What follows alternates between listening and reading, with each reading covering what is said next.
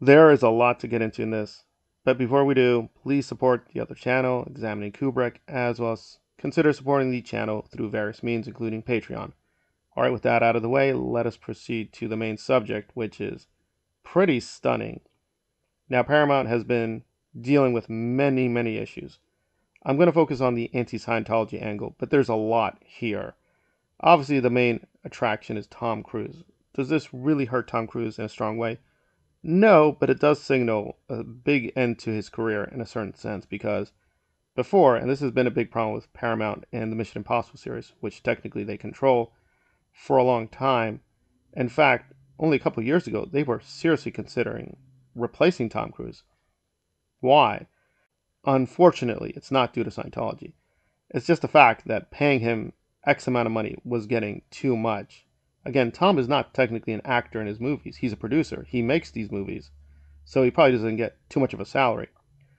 But at the end of the day, in terms of profits, they have to keep giving him back too much of their own money. So it just became too much. And this signals that Paramount just does not have the resources. They just don't have the capital anymore to sustain themselves. So they're willing to consider being bought out.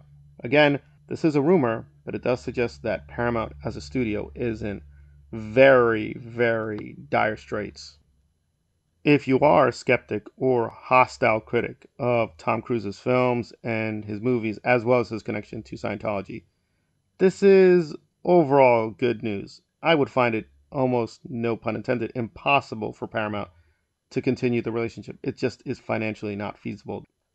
The last Mission Impossible film did very poorly at the box office. It just did not do very well, and they spent tons, I mean, tons of money on that film. So I'm not going to do my full review here, but briefly, I do think it was a decent film overall, but it really showed a huge decline in the franchise.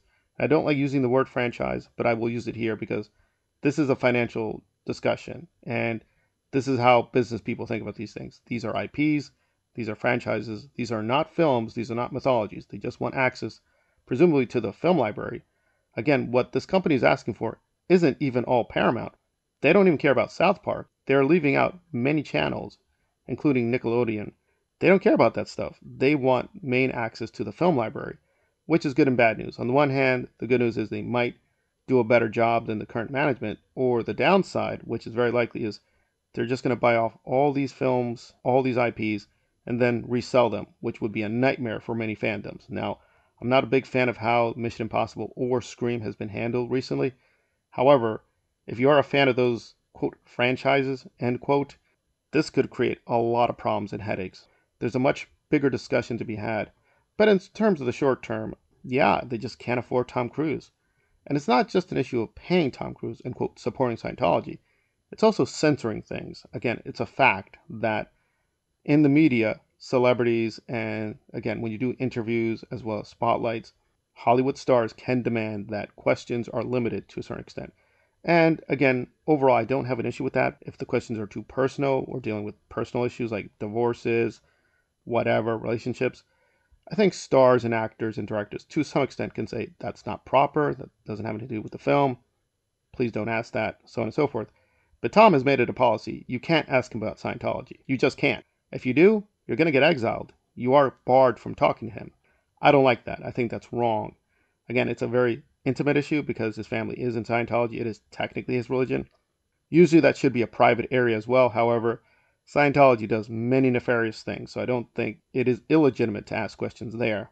It is an exception to the rule, but I think we can make it. So, overall, this is good news for the anti Scientology side. In fact, when you think about it, the anti Scientology side, if it raises enough money, can now buy a part of Paramount and use it for its own cause, right? They can create their own documentaries, their own films, if they buy an IP. That's not a dream. Like Lily and Aaron, if they want to, could raise money, pay for a part of Paramount, and use it against Scientology. So it does show that the grip that Tom Cruise and Scientology has had, kind of this monopoly, is coming to a close. However, is the next phase this democratic new good media? Not necessarily. It could be a new nightmare. However, in the short term, the fact that Paramount cannot afford Tom Cruise, they're literally stating, can't afford Tom Cruise, we can't even afford to pay our own employees. They've let go a lot of people, shows that things have really changed. Are they changing for the better? In the short term, yes, but there are many, many problems ahead.